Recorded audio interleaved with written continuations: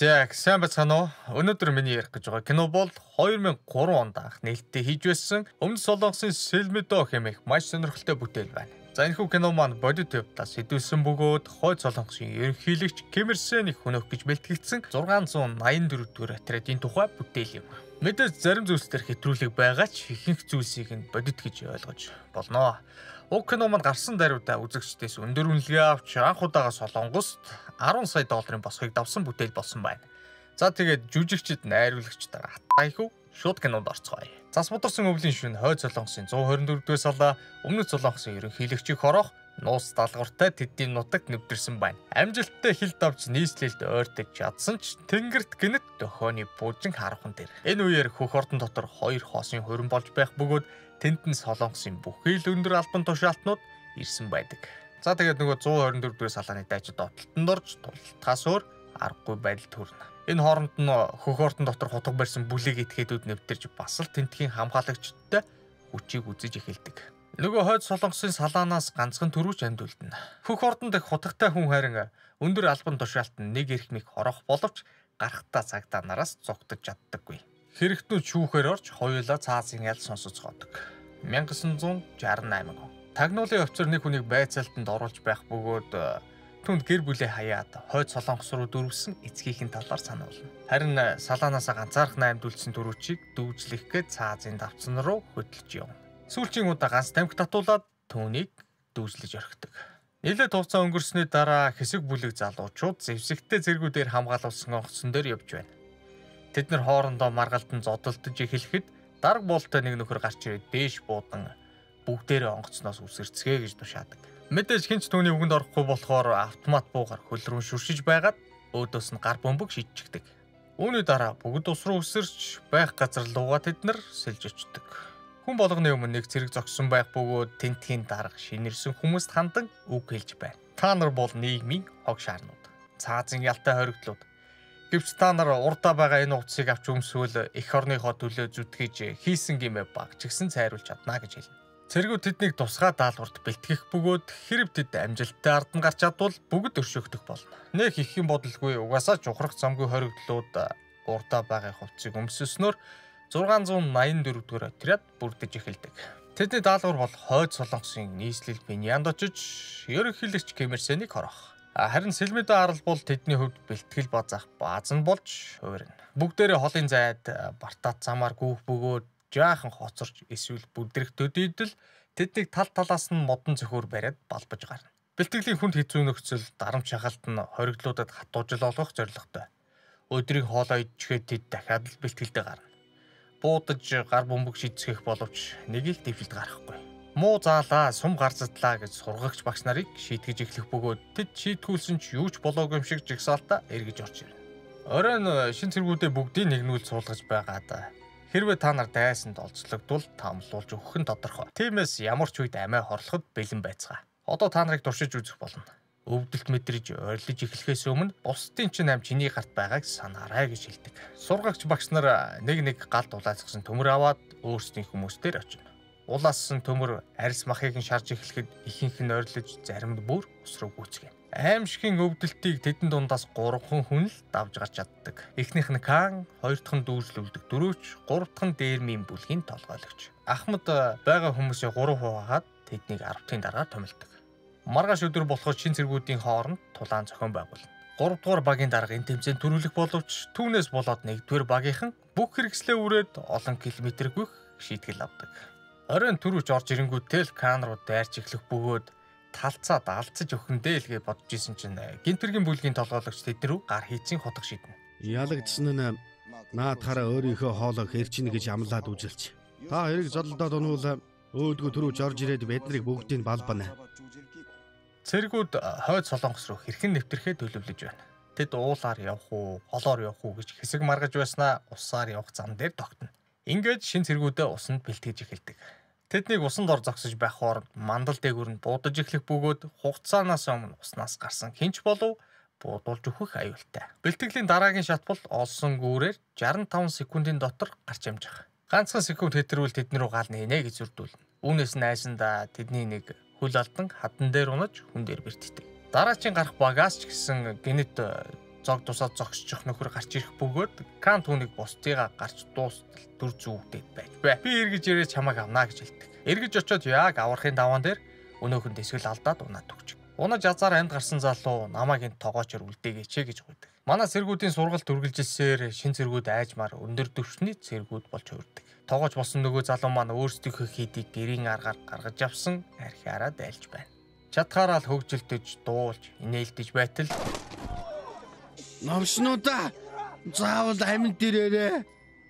Үүний дараа тэд солонгосын төрийн дуулалыг дуулж эхэлнэ. Энэ хооронд гэмтэргийн бүлгийн толгойлогч өөрийнхөө сурагч багштай сэтгэлийн үгээ ярилцж байна. Багш нь хөөрхий 21 настай залуу таныг харааж янз бүрээр загнаж байсандаа би харамсаж байна гэхэд эр хүн ийм хөрөвч зөөлөн байж болохгүй гэж түн захина. Маргааш өрөөнд 684 дугаар салаа үүргээг үздэхэд бэлэнжигсэн байна. Хүчтэй асгарах хусан бороонд тэд даргаасаа сүүлчийн тушаалаа хүлээж ав. Бүгд завиндаа суугаад хойд солонгосын зүг сэлүүрдэж эхэлдэг.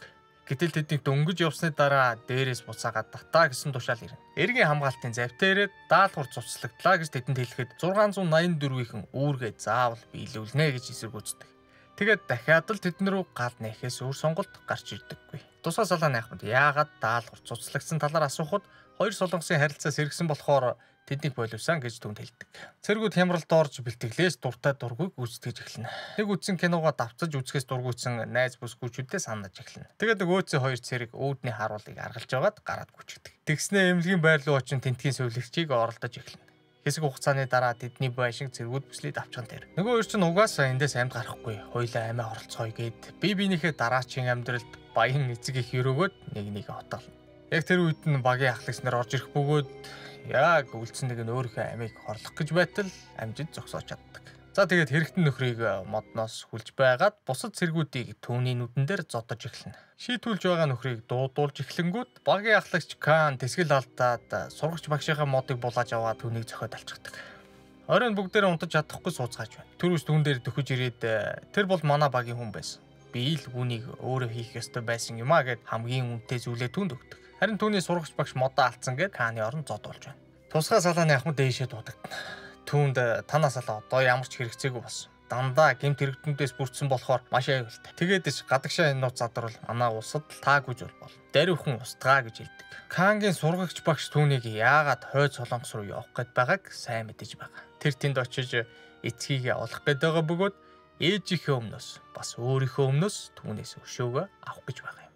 За тэгээд тусгай салааны ахмад дээд удирдлагаасаа дахиад л 684 дөрөв төрөдийг дайн болж байгаа. Ямар ч хамаагүй халуун цэгрэг илгээгээд өгөөч гэж гуйдаг. Харин түүний удирдлага эрс эсэргүүцсэн хоригдлуудыг устдаг. Эс чадвал танаас сургах зэргүүч гэсэн бас үхэн шүү гэж сануулдаг. Салааны ахмад Сэлмидо дэргэж ирээд өөрийн цэргүүдэд харж байна. Тэд бүгдээрээ л эрүүл сарвал тоглож хөгжилцгөөн цаашид юу болохыг мэдэхгүй инээлдэж байна. Гурван бүлгийн ахлагч нар сууж байгаад Каныг нэг зураг нууцаад хараад байсан. Тэрийгэ бидэнд үзүүлээч гэж гуйдаг. Тэгээд Кан нөгөө хоёроо холхон авчиж байгаад ээжийнхээ зургийг тэдэнд харуул. Тусгай салааны ахмад 20 төсөөл олж хараад ээжийнхэн зургийг шууд л уруулчихдаг. Харин Каныг тусгаарлах өрөөнд хорно. Өөрөө ахмад хоёр орлогчоо дуудан дээрээс ирсэн устгах тушаалыг тэдэнд дуулгадаг. Тэднийг устгах эсвэл биднийг хамт өгвэ гэсэн. Та хоёр шийдвэрээ гаргаа гэд үлдээ. Энэ яриаг нь Кан сонсчхоод маргааш өглөө дөрвөжид хэлнэ. Хоёр орлогчийн нэг нь энэ шийдвэрийг эрс эсэргүүцэх бөгөөд түүнийг тэд аарлаас явуулдаг хоригдлууд ч түүнийг явж байгааг харчгаад за өнөө орой л биднийг дуусгах нэ гэж бодно. Тэгснэ араас нь гүйцэж очоод салах ёс хийтэл би та нарт эргэж ирэхдээ амттай зүйл авчиж өгнө. Хүлээж байгаарай гэд яв. Устгах тушаал авсан орлогч цэргүүдээ цуглуулсан байна. Нөгөө талд ч гэсэн хоригдлууд босч байна. Тэднээс хинэн ч өөрийнхөө сургагч багшийг эсвэл хариуцсан хоригдлоо хорох сонирхолгүй байна. Тэгсэн ч гэсэн бүгд буугаа авч цэргүүдийн байрлаж бөв байрыг зорно.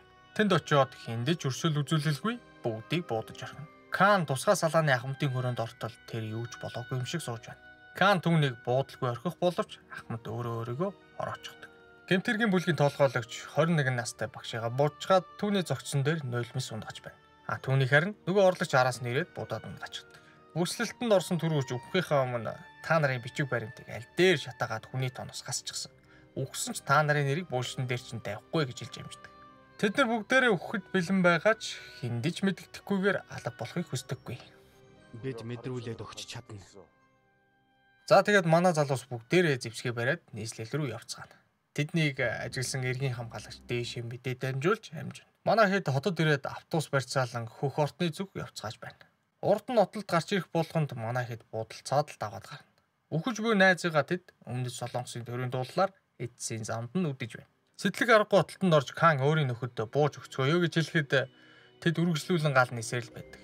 Үүний дараа тэд бүгд дээрээ шархтаж цаашаа явж чадахгүй болсон байна. Түрүү жуугийн машин тэдэн дээр ирсэн боловч түүнийг цэргүүд рүү нойртуулдаг. Хоригдлуудын автобусыг барьцааны хүнтэй цуг устгахаар цэргүүд төлөвлөж эхэлнэ. Манай хэд цусаараа өөрсдийн нэрийг хан дээр бичиж барьцааны хүмүүсийг чөлөөлж гаргадаг. Тэгснээ би биэндээ хайртай дуртайгаа хэлж бэлэн үү бэлэн гэж хэлээд гар бомбууд илбэлцгэн. Төрөөс дэлбэрсэн автобусан дээр очиж дэмийл тэдийг дуудана. Энэ явдлын дараа бичээж болсон явдлын талаар товч мэдээлэл бэлтгэх бөгөөд түүнийг нэг том дарга уншчихад архив руу олон жил хадгалуулахаар явуулчихдаг. За ингээд л энэ удаагийн кино маань дуусч байна. А харин бодит явдлын талаар гэвэл кино гарснаас 3 жилийн дараа 2006 онд Өмнөд Солонгосын засгийн газар босон явдлын талаарх мэдээллийг нууцаас гаргаж албан ёсоор энэхүү явдлыг хүлээн зөвшөөрсөн байна. За тэгээд анх 31 хүн байснаас 7 сургалтын үед насурч 24 хүн бослог гаргасан тэднээс дөрөв намдулдаж шүүхээр орон цааз ял авсан гэж мэдүүлсэн байт юм байна. Сөүлийн шүүх 684 дугаар салааны 21 үний ар гэрт 273 сая вооны нөхөн олохор өгөх шийдвэр гаргасан байт юм байна бас. За ингээд кино таалагдсан гэж найдаж байна. Лайк дарж, subscribe хийгээрэй. Дараа уулзтлаа. Түр баяртай.